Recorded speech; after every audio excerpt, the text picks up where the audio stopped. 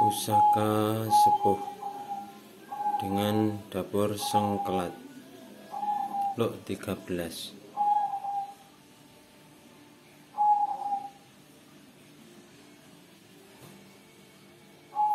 Pamornya bagus Pusakanya sepuh dan utuh.